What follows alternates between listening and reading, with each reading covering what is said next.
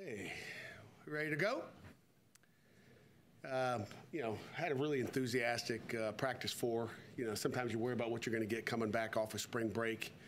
Uh, you know, we got the Monday, you know, Monday, Wednesday, Friday, and before spring break. You know, they took a week off.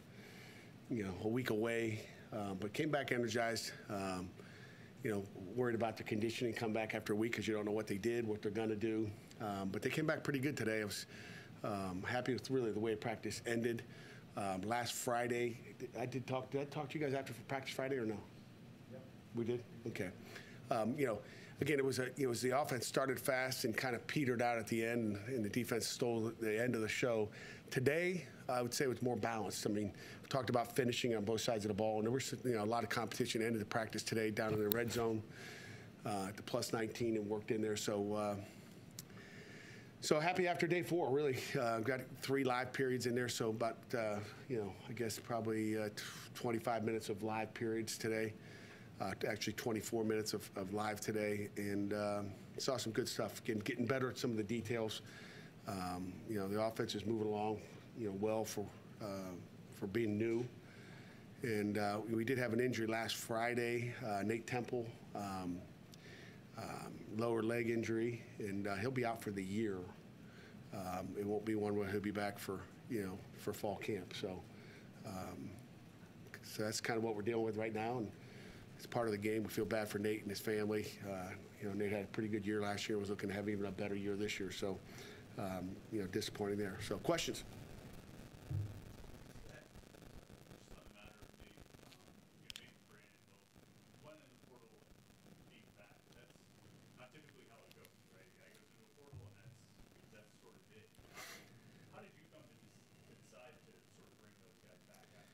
Yeah, great, great question. You know, and that's not going to happen all the time. Um, and sometimes you don't like to set that precedence. Um, but you know, I think you got to treat everybody individually. I think both of them felt like they messed up, and you know, you know, the, the thing thing about these young men right now, you know, they hear all kinds of different stories, and they think, you know, that you know the grass is greener. But those are two young guys that, you know, I should say, two old guys that, um, you know, played a lot of football here. Um, you know, two pretty darn good leaders for us. Um, that you have to, you know, if, if, they were anybody else, it probably doesn't happen. Um, matter of fact, there was, you know, another guy that wanted to come back. Um, so, you know, you hear about the glory stories, but there was another guy that wanted to come back, and um, and that wasn't happening. So, didn't give him an opportunity. So, it's just everybody's a little bit different, and um, you know, and uh, so those two, you know, two team guys that you know, when you think about just the attitude that they bring every day, you know, in the meeting rooms, on the field, um, you know, they're, they're team guys and, and uh, program program guys. In your, first, in your first live practices, who were some of those younger players that you've seen, like, whoa, that guy's a little different than the last time Okay, you know, the first guy I'm going to mention is is uh, Kyle Louis, and I don't know, you know, when you say young, like he's still young. Um, you know, last spring, if you recall, he was playing basketball in February, hurt his knee, so he didn't go through spring ball. So this is his first spring, but he is flying around. He's physical. He's active. You know, like what I see out of him. Uh, Biles is another guy. Rasheem goes by Sheem. Maybe we got to get him in here one day. Uh, Sheem is he's an athlete. He, he he got a sack off the edge on a third down today. Um, that he was about this far off the ground, crawled and sacked the quarterback. It was like you know, it's hard to do. It's hard to bend like he did around that corner. Uh, I don't know who the, the, right tackle was, but um, see that on videotape. Um, but uh, he, he's you know shown that his motor is just just keeps getting better. Um, trying to think um, up front, still a work in progress, but um, you know, Dayon his own flashes, just looking for consistency all the time. Uh, in the back end, you know, really, you know, um, you know, happy with you know obviously Donovan and Javon and, and PJ O'Brien. Those three guys are solid. But uh, tell you the two other young guys, um, since you asked defensively, it would be Cruz Brookins is doing a heck of a job. He's going to be a great football player for us.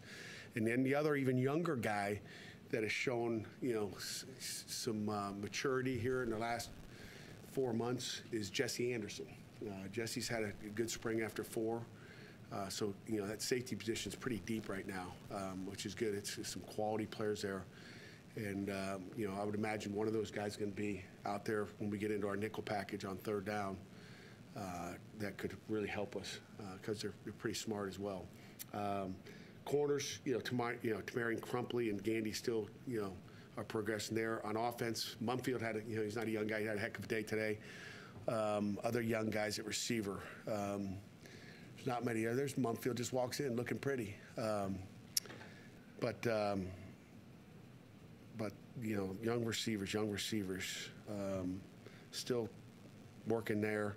You know, um, I guess a young guy, young guy. You know, we think about the freshman coming in. Is uh, Juelz Goff is, is you know has shown he's got a, he's got a different gear. Uh, he's got some of that Izzy Abanikanda speed. I think um, we'll see more. Uh, still haven't seen enough to, to you know to say he's he's Izzy yet, but uh, he's shown some um, some really good things. Um, you know, on the offensive line, you know, uh, Isaiah Montgomery's really playing well at right right tackle and left tackle, playing a little bit about both. He can play him guard as well. But you know, him and Terrence Enos are stepping up. You know, looking at you know that that sixth man, seventh man, who's it going to be? Happy with him. Um,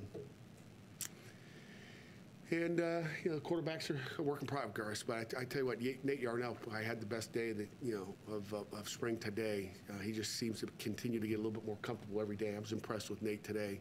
You know, again, I hate to sometimes make comments, but you asked a good question and um, and uh, gave you a lot of names there. Uh, but you might watch the tape and I may say he stunk too. So um, I'll reserve judgment for, for later on. But that's my post practice evaluation. But the tape sometimes, sometimes you feel good and you walk in there and go, oh my God, we're awful. We got to fix this, fix that. But, you know, it was a good day, all three phases. Is, is Brandon claim, takes, taking a claim to that Mike linebacker's play? Brandon George? Yeah, Brandon George is, is uh, you know, he's, he's our starting Mike right now. Um, and, um, but, you know, we're, you know, we're gonna we're gonna play some guys in there. We're gonna play you're gonna play six linebackers, you know, a lot. And I tell you, we got uh, Lovelace in there right now. Uh, Brandon Lovelace is looking good at Mike linebacker. He had a play today uh, that was probably, didn't mention Lovelace. Did I mention any linebackers? Yeah, I mentioned his other two. Brent Lovelace had a, a blitz, and then he redirected to his right and, and made a tackle. I was like, holy cow. He looked like, matter of fact, SirVocea Dennis was out there. It looked like a little SirVocea Dennis move there today. Um, just changing directions, getting flat, and making plays. So um, Braylon's another young guy that uh, I think continues to get better.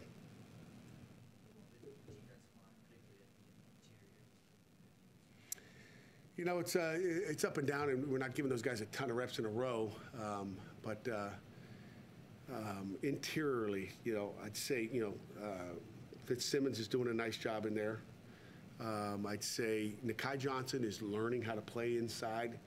Uh, we got to keep his shoulders square a little bit and, and get that down hand to make some contact a little bit better. But he's a defensive end going into his fourth practice. If you guys recall, if you go to the last six plays of Duke, he played inside and played well. Um, but he, you know he's been in there. You know Nick James. I don't know if he finished the practice today. Might have got a little ankle at the end. Um, but he's he's shown some promise in there. Uh, we'll keep getting him better. Um, again, giving all these names without a depth chart sitting in front of me, so I'll probably forget people. So um, I'm trying to think of who else inside. If you name a name, I'll give you one, but I don't have one in front of me. EJ didn't give it to me, but that's probably good enough right there. What's changed about, what, what what led to the change for Nakai in this, in this situation? You know, it's it's interesting. You think maybe you know we should have been smarter as coaches to maybe make the move, but um, you know some guys can just you know there's there's more thinking at defensive end than there is at D tackle, um, and uh, you know I just think he was one of those guys that plays a little bit slower. I think he just thinks too much, and sometimes you figure time will take the thinking out of it for him. It just didn't happen. Then we put him in that. You know, I think we started working him inside maybe the last two weeks of the season. We put him in there. It was like, holy cow, I think we found a home. He's about 275 pounds right now. He's twitchy.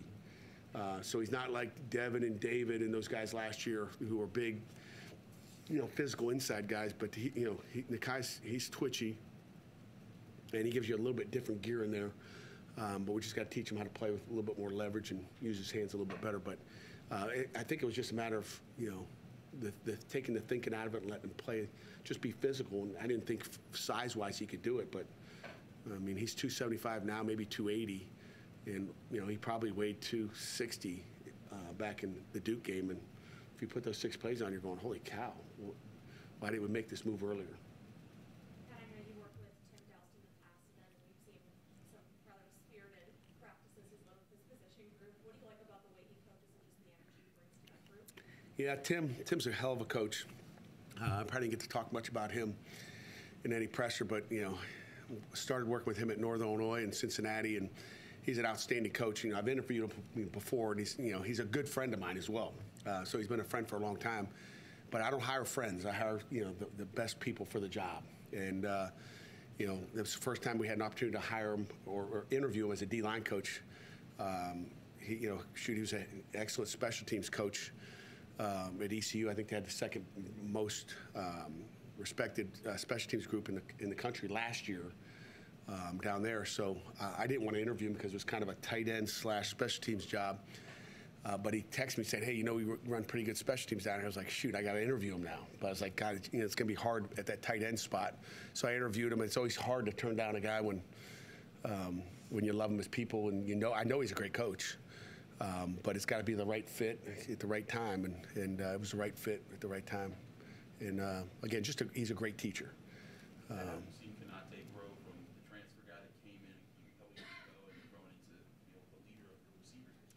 He's the, certainly the, the leader of the receiver group without a question. I mean, he's, he's more vocal. I mean, what you see is a guy came in, you know, quiet, just doing his job, and uh, now he's he's a little bit more vocal um, and and still does his job. And and the thing about Konata is he, he's the same person every day. You don't get a different Konata. You're not getting this, you know, these highs and lows. Uh, you know, you talk about consistency.